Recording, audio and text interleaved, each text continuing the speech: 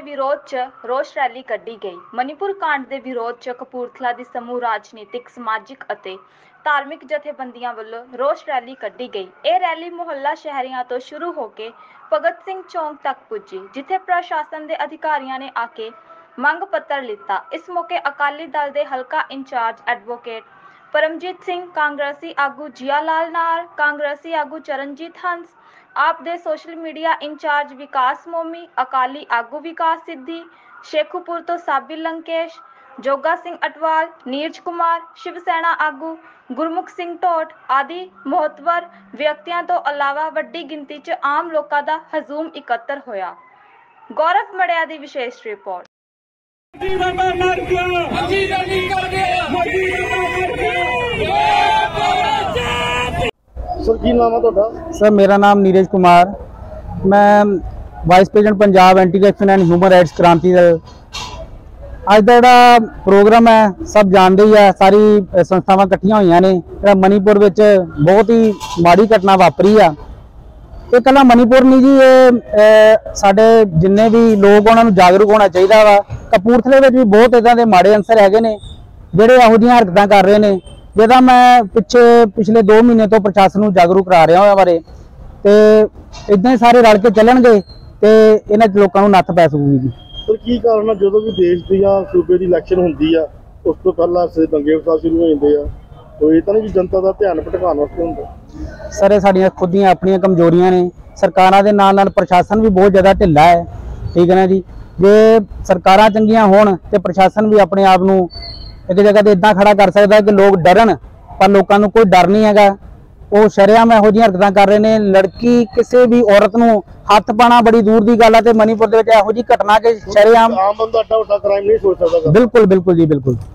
ਆਮ ਬੰਦਾ ਤਾਂ ਸਕੂਟਰ ਤੇ ਕੋਈ ਹੈਲਮਟ ਦਾ ਚਲਾਨ ਉਹ ਤੋਂ ਕਰਦਾ ਵਾ। ਬਿਲਕੁਲ। ਇਹ ਬਹੁਤ ਵੱਡਾ ਕੋਈ ਸਾਜ਼ਿਸ਼ ਕਹਿ ਸਕਦੇ ਆ। ਬਿਲਕੁਲ ਬਹੁਤ ਵੱਡੀ ਸਾਜ਼ਿਸ਼ ਹੈ ਸਾਰੇ। ਤੇ ਦਿਖਦੀ ਪਈ ਹੈ ਸਰਕਾਰਾਂ ਦੇ ਨਾਲ ਨਾਲ ਪ੍ਰਸ਼ਾਸਨ ਦੀ ਬਹੁਤ ਵੱਡੀ ਨਾਕਾਮੀ ਹੈ ਜੀ। ਸਰ ਕੀ ਤੁਹਾਡਾ ਨਾਮ ਆ? ਜੁਗਾ ਸਿੰਘ ਅਟਵਾਲ ਮੈਂ ਪ੍ਰਧਾਨ ਹਾਂ ਬੈਪਟਿਸਟ ਚੈਰੀਟੇਬਲ ਸੁਸਾਇਟੀ ਦਾ।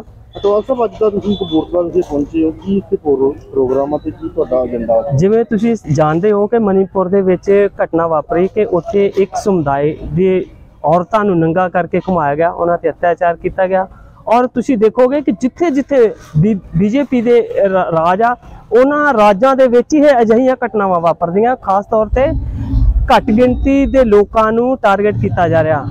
ਔਰ ਇਹ ਤਾਂ ਸਮਝੋ ਕਿ ਵੋਟ ਬੈਂਕ ਦੀ ਰਾਜਨੀਤੀ ਹੋ ਰਹੀ ਹੈ ਕਿ ਤੁਸੀਂ ਕਿਵੇਂ ਲੋਕ, ਗਰੀਬ ਲੋਕਾਂ ਦਾ ਸ਼ੋਸ਼ਣ ਕਰਕੇ ਆਪਣੀ ਰਾਜਨੀਤੀ ਨੂੰ ਕਾਇਮ ਰੱਖਣਾ। ਔਰ ਅਸੀਂ ਇਸ ਦੀ ਘਟਨਾ ਦੀ ਪੁਰ ਜੋਰ ਨਿੰਦਾ ਕਰਦੇ ਹਾਂ ਔਰ ਮੰਗ ਕਰਦੇ ਹਾਂ ਕਿ ਮਨੀਪੁਰ ਦੇ ਵਿੱਚ ਜਲਦ ਤੋਂ ਜਲਦ ਰਾਸ਼ਟਰਪਤੀ ਸ਼ਾਸਨ ਲਗਾਇਆ ਜਾਵੇ। ਔਰ ਉੱਥੇ ਦੇ ਜਿਹੜੇ ਲੋਕ ਆ, ਬੇਘਰ ਹੋਇਆ ਉਹਨਾਂ ਨੂੰ ਉਹਨਾਂ ਨੂੰ ਘਰ ਪ੍ਰੋਵਾਈਡ ਕੀਤੇ ਜਾਣ, ਉਹਨਾਂ ਦੀ ਜਾਨ ਮਾਲ ਦੀ ਰੱਖਿਆ ਰਖਵਾਲੀ ਕੀਤੀ ਜਾਵੇ। ਕਾਰਨ ਕੀ ਆ ਸਰ? ਹੁਣ ਇੱਕ ਹਰਿਆਣੇ ਹਿੰਸਾ ਹੋ ਰਹੀ ਆ, ਮਨੀਪੁਰ ਹਿੰਸਾ ਹੋ ਰਹੀ ਆ। ਸ਼ਾਂਤੀ ਨਾਲ ਚੱਲ ਰਿਹਾ ਕਿ ਮਾਹੌਲ। ਇੱਕਦਮ ਹਿੰਸਾ ਦਾ ਮਾਹੌਲ ਕਿਉਂ ਹੋ ਗਿਆ? ਇਹ ਮੈਂ ਤੁਹਾਨੂੰ ਦੁਬਾਰਾ ਫੇਰ ਦੱਸਣਾ ਚਾਹੁੰਦਾ ਕਿ ਇਹ ਅਜਿਹੀਆਂ ਘਟਨਾਵਾਂ ਤੁਸੀਂ ਗੋਦਰਾ ਕਲਾਂ ਨੂੰ ਦੇਖ ਲਓ ਗੁਜਰਾਤ ਦੇ ਵਿੱਚ ਵਾਪਰਿਆ ਉੱਥੇ ਬੀਜੇਪੀ ਦੀ ਸਰਕਾਰ। ਕੋਈ ਇਲੈਕਸ਼ਨ ਹੁੰਦੀ ਉਸ ਤੋਂ ਪਹਿਲਾਂ ਹੋ ਜਾਂਦਾ ਸ਼ੁਰੂ ਇਹ ਜਦ ਤੱਕ ਇਹ ਲੋਕਾਂ ਨੂੰ ਸਮਝਣਾ ਪਏਗਾ ਕਿ ਸਾਡੇ ਉੱਪਰ ਸ਼ਾਸਨ ਕੌਣ ਕਰ ਰਿਹਾ ਕਿੱਦਾਂ ਦੇ ਲੋਕ ਕਰ ਰਹੇ ਆ। ਜਦੋਂ ਇਹ ਸ਼ਾਸਨ ਗਲਤ ਹੱਥਾਂ ਵਿੱਚ ਰਹੇਗਾ ਤੇ ਇਦਾਂ ਦੀਆਂ ਘਟਨਾਵਾਂ ਵਾਪਰਨਗੀਆਂ ਇਹ। ਲੋਕ ਫਿਰ ਬਹੁਮਤ ਨਾਲ ਜਿਤਾ ਕੇ ਦੋ ਦੋ ਤਿੰਨ ਤਿੰਨ ਵਾਰੀ ਸਰਕਾਰਾਂ ਬਣਾ ਦੇ ਇਹ ਤੁਸੀਂ ਦੇਖੋ ਕਿ ਇਹ ਤਾਂ ਕੁਝ ਲੋਕਾਂ ਨੇ ਇਹ ਵੀ ਮੁੱਦਾ ਚੁੱਕਿਆ ਕਿ ਕੁਝ ਈਵੀਐਮ ਦਾ ਵੀ ਰੋਲ ਹੈਗਾ। ਤੇ ਇਹਦਾ ਰਾਜਨੀਤਿਕ ਪਾਰਟੀਆਂ ਨੂੰ ਸੋਚਣਾ ਪਏਗਾ ਕਿ ਅਸੀਂ ਇਹ ਇਹ ਰਾਜ ਜਿਹੜਾ ਗਲਤ ਹੱਥਾਂ 'ਚ ਹੀ ਦੇਈ ਰੱਖਣਾ ਕਿ ਜਾਂ ਸੈਕੂਲਰ ਪਾਰਟੀਆਂ ਦੇ ਹੱਥਾਂ ਵਿੱਚ ਦੇਣਾ ਰਾਜ। ਮੈਂ ਜੀ ਵਿਕਾਸ ਮੋਮੀ ਆ ਜੀ। ਅੱਜ ਜੋ ਮਾਮਲਾ ਇਹ ਆ ਕਿ ਜੋ ਮਣੀਪੁਰ ਦੇ ਵਿੱਚ, ਜੋ ਘਟਨਾ ਪਿਛਲੇ ਦਿਨੀ ਹੋਈ ਆ, ਜੋ ਕੁਕੀ ਇਸਾਈਆਂ ਨੂੰ, ਜੋ ਉਹਨਾਂ ਦੀਆਂ ਔਰਤਾਂ ਨੂੰ ਜੋ ਕਿ ਭਾਰਤ ਦੇ ਮੂਲ ਨਿਵਾਸੀ ਲੋਕ ਨੇ, ਜਿਨ੍ਹਾਂ ਦੀਆਂ ਔਰਤਾਂ ਨੂੰ ਨੰਗਾ ਕਰਕੇ ਉਹਨਾਂ ਦੇ ਵਿੱਚ ਵੱਡੀ ਗਿਣਤੀ ਵਿੱਚ ਲੋਕਾਂ ਨੇ, ਅੱਤਵਾਦੀ ਲੋਕਾਂ ਨੇ ਜੋ ਬਲਤਕਾਰ ਕੀਤਾ ਆ ਉਸ ਤੋਂ ਬਾਅਦ ਉਹਨਾਂ ਨੂੰ ਮਾਰ ਦਿੱਤਾ ਗਿਆ ਆ ਉਸ ਘਟਨਾ ਦੇ ਵਿਰੋਧ ਦੇ ਵਿੱਚ ਅੱਜ ਧਾਰਮਿਕ, ਰਾਜਨੀਤਿਕ ਸਮੂਹ ਜਥੇਬੰਦੀਆਂ ਵੱਲੋਂ ਇੱਕ ਰੋਸ ਧਰਨਾ ਕਪੂਰਥਲਾ ਵਿੱਚ ਜਿਹੜਾ ਕੀਤਾ ਜਾ ਰਿਹਾ ਹੈ ਜੀ। ਕੀ ਕਾਰਨ ਆ? ਸਮੇਂ ਸਮੇਂ ਤੇ ਐਸੀ ਸਮਾਜ ਜਾਂ ਸੰਸਥਾ ਜਿਹੜੇ ਹੁੰਦੀ ਹਨ ਇਹਦਾ- ਇਹਨੂੰ ਹੀ ਟਾਰਗੇਟ ਕੀਤਾ ਜਾ ਰਿਹਾ ਵਾ। ਇਹਦਾ ਮੁੱਖ ਕਾਰਨ ਇਹੀ ਹੈ ਕਿ ਜੋ ਅੱਜ ਸਰਕਾਰਾਂ ਆ ਜੋ ਸਰਕਾਰ ਅੱਜ ਇਹ ਸੈਂਟਰ ਦੇ ਵਿੱਚ ਜੋ ਕੰਮ ਕਰ ਰਹੀ ਆ ਉਹ ਐਕਚੁਅਲ ਚ ਮੰਨੀਮਤੀ ਸਰਕਾਰਾਂ ਆ ਉਹ ਆਪਣੇ ਜਿਹੜੇ ਹਿੰਦੂ ਰਾਸ਼ਟਰ ਦੇ ਸੁਪਨੇ ਨੂੰ ਪੂਰਾ ਕਰਨਾ ਚਾਹੁੰਦਾ ਲੋਕਾਂ ਦੇ ਉੱਤੇ ਜ਼ੁਲਮ ਕਰਕੇ ਤੇ ਫਿਰਕੂ ਪ੍ਰਸਤਾਂ ਜਿਹੜੀ ਰਾਜਨੀਤੀ ਉਹ ਦੇਸ਼ ਦੇ ਵਿੱਚ ਉਹ ਚੱਲ ਰਹੀ ਹੈ ਜਿਹਦੇ ਵਿੱਚ ਹੁਣ ਆਪਾਂ ਪਿਛਲੇ ਦਿਨੀ ਦੇਖੀਏ ਤੇ ਹਰਿਆਣੇ ਦੇ ਵਿੱਚ ਜਿਹੜਾ ਵੱਡੀ ਗਿਣਤੀ ਦੇ ਵਿੱਚ ਜਿਹੜਾ ਮੁਸਲਮਾਨਾਂ ਨੂੰ ਗੁੜਗਾਉਂ ਦੇ ਵਿੱਚ ਮਾਰਿਆ ਜਾ ਰਿਹਾ ਆ ਔਰ ਉਹਨਾਂ ਦੀਆਂ ਮਸਜਿਦਾਂ ਨੂੰ ਜਿਹੜਾ ਢਾਇਆ ਜਾ ਰਿਹਾ ਆ, ਉਹ ਵੀ ਸਾਰਾ ਉਸੇ ਚੀਜ਼ ਦਾ ਕਿੱਸਾ ਆ। ਔਰ ਦੁੱਖ ਦੀ ਗੱਲ ਇਹ ਆ ਕਿ ਦੋਨਾਂ ਜਗ੍ਹਾਵਾਂ ਦੇ ਵਿੱਚ ਮਣੀਪੁਰ ਔਰ ਹਰਿਆਣੇ ਦੇ ਵਿੱਚ ਸਰਕਾਰ ਬੀਜੇਪੀ ਦੀ ਹੈ ਜੀ। ਇਲੈਕਸ਼ਨ ਤੋਂ ਹੀ ਇੱਥੇ ਦੇ ਕਿਉਂ ਹੁੰਦੇ ਆ? ਇਹ ਕਿਤੇ ਨਾ ਕਿਤੇ ਸਾਰਾ ਇਲੈਕਸ਼ਨ ਜਿੱਤਣ ਦਾ ਪ੍ਰੋਪਗੈਂਡਾ ਆ ਕਿ ਇੱਕ ਇੱਕ ਜਿਹੜੀ ਇੱਕ ਵਿਸ਼ੇਸ਼ ਜਾਤੀ ਨੂੰ ਜਿਹੜਾ ਉਹਦੀ ਵੋਟ ਬੈਂਕ ਨੂੰ ਹਾਸਲ ਕਰਨ ਵਾਸਤੇ ਜਿਹੜੇ ਇਸ ਤਰ੍ਹਾਂ ਦੇ ਦੰਗੇ ਜਿਹੜੇ ਇਲੈਕਸ਼ਨਾਂ ਦੇ ਦੌਰਾਨ ਜਿਹੜੇ ਭਾਰਤ ਦੇ ਵਿੱਚ ਵੱਡੇ ਲੈਵਲ ਤੇ ਜਿਹੜੇ ਕਰਾਏ ਜਾਂਦੇ ਆ ਲੰਬੇ ਸਮੇਂ ਤੋਂ। ਅੱਜ ਤੁਸੀਂ ਸ਼ਾਂਤ ਨੂੰ ਧੱਲਾ ਦਿੱਤਾ ਵਾ ਤੁਹਾਡਾ ਅਗਲਾ ਕੀ ਉਪਰਾਲਾ ਹੋਏਗਾ?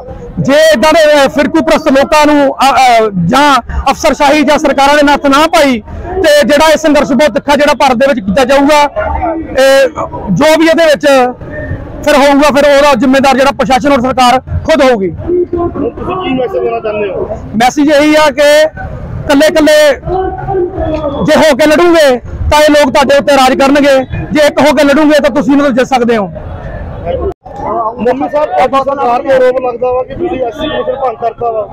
ਐਸੀ ਬਿ- ਬਿਲਕੁਲ ਐਸੀ ਕਮਿਸ਼ਨ ਭੰਗ ਨਹੀਂ ਕੀਤਾ ਗਿਆ ਜੀ। ਐਸੀ ਕਮਿਸ਼ਨ ਦੀਆਂ ਅਸਾਮੀਆਂ ਜ਼ਰੂਰ ਕਢਾਈਆਂ ਗਈਆਂ ਆ। ਬਹੁਤ ਜਲਦ ਜਿਹੜਾ ਪੰਜਾਬ ਸਰਕਾਰ ਜਿਹੜੇ ਐਸੀ ਕਮਿਸ਼ਨਾਂ ਨੂੰ ਉਹ ਦੁਬਾਰਾ ਫਿਰ ਬਹਾਲ ਕਰ ਰਹੀ ਹੈ ਔਰ ਆਪਣੇ ਵੱਲੋਂ ਜੋ ਸਰਕਾਰ ਦਾ ਬਣਦਾ ਆ ਸਰਕਾਰੀ ਆ ਸਰਕਾਰ ਆਪਣੇ ਨੁਮਾਇੰਦਿਆਂ ਨੂੰ ਉਹਦੇ ਉੱਤੇ ਬਿਠਾਊਗੀ। ਪਾਰਟੀਆਂ ਬੜਾ ਇਸ ਗੱਲ ਦਾ ਰੌਲਾ ਪਾ ਰਹੀਆਂ ਕਿ ਉਹਨਾਂ ਦਾ ਦੇਖੋ, ਦੇ- ਜਾਂ ਤੁਸੀਂ ਭੰਗ ਕਰਨ ਤੋਂ ਨਾਲ ਹੀ ਨੈਕਸਟ ਡੇ ਤੁਸੀਂ ਇਹ ਬਹਾਲ ਕਰ ਸਕਦੇ ਬਣੇ ਬੰਦੇ। ਦੇਖੋ ਜੀ ਵਿਰੋਧੀ ਪਾਰਟੀਆਂ ਦਾ ਕੰਮ ਹੀ ਹੈ ਕਿ ਸਰਕਾਰ ਨੂੰ ਭੰਡਣਾ ਪਰ ਸਰਕਾਰ ਬਹੁਤ ਚੰਗੇ ਤੇ ਸੱਜੇ ਕੰਮ ਕਰ ਰਹੀ ਆ ਲੋਕ ਹਿੱਤਾਂ ਦੇ ਵਿੱਚ ਕੰਮ ਕਰ ਰਹੀ ਆ।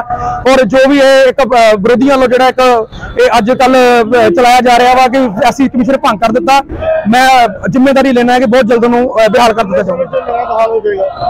ਇਹ ਲਗਭਗ ਇੱਕ ਜਾਂ ਦੋ ਹਫ਼ਤੇ ਦੇ ਵਿੱਚ ਵਿੱਚ ਉਹ ਆਪਣੇ ਨੁਮਾਇੰਦਿਆਂ ਨੂੰ ਬਿਠਾ ਦਿੱਤਾ ਜਾਏਗਾ। ਤੁਸੀਂ ਆਪਣੀ ਪਾਰਟੀ ਦੇ ਬੰਦਿਆਂ ਨੂੰ ਹੀ ਐਸਸੀ ਕਰਨਾ ਤਾਂ ਕਰਕੇ ਭੰਗ ਕੀਤੀ ਇਹ ਦੇਖੋ ਜੀ ਇਹਦਾ ਫੈਸਲਾ ਸਰਕਾਰ ਕਰੂਗੀ ਕਿ ਆਪਣੇ ਬੰਦਿਆਂ ਨੂੰ ਬਿਠਾਉਂਦੀ ਆ ਜਾਂ ਅਫਸਰਸ਼ਾਹੀ ਨੂੰ ਬਿਠਾਉਂਦੀ ਆ ਜਾਂ ਕੋਈ ਜਥੇਬੰਦੀਆਂ ਜਾਂ ਅੱਗੋਂ ਲੈ ਕੇ ਪਿਛਲੀਆਂ ਸਰਕਾਰਾਂ ਵੀ ਜਿਸ ਤਰੀਕੇ ਨਾਲ ਕਰ ਰਹੀਆਂ ਉਸੇ ਤਰੀਕੇ ਨਾਲ ਇਹ ਵੀ ਕੰਮ ਹੋਵੇਗਾ।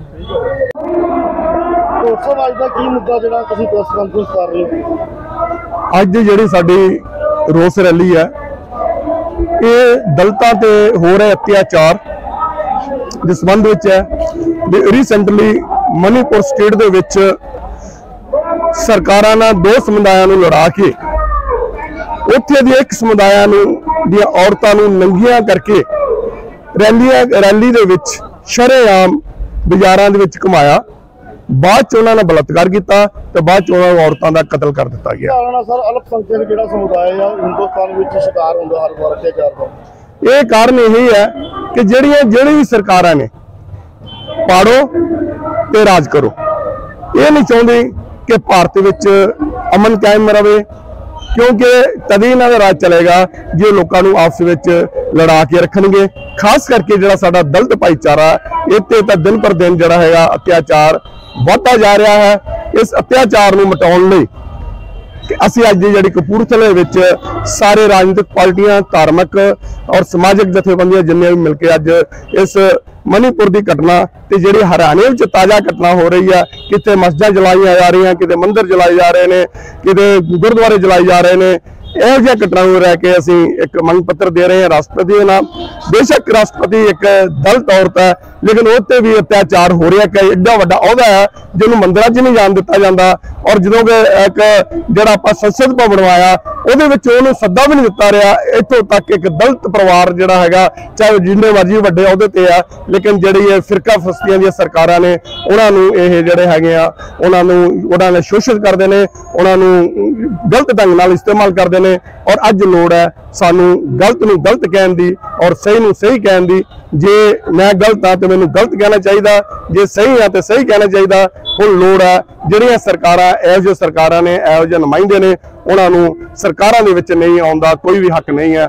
ਔਰ ਇਸੇ ਕਰਕੇ ਜਿਹੜੇ ਮਨੀਪੁਰ ਦੀ ਘਟਨਾ ਹੈਗੀ ਆ, ਖਾਸ ਕਰਕੇ ਉਹਦੇ ਸੰਬੰਧ ਵਿੱਚ ਅੱਜ ਜਿਹੜੀ ਅਸੀਂ ਵੱਡੇ ਪੱਧਰ ਤੇ ਕਪੂਰਥਲੇ 'ਚ ਰੋਸ ਰੈਲੀ ਕਰ ਰਹੇ ਹਾਂ।